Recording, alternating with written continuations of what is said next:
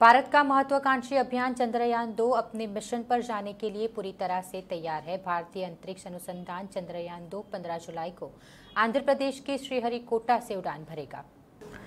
Made in India उपग्रह चंद्रयान दो श्रीहरिकोटा से अपनी तीन लाख चौरासी हज़ार किलोमीटर की चंद्र यात्रा 15 जुलाई से शुरू करेगा।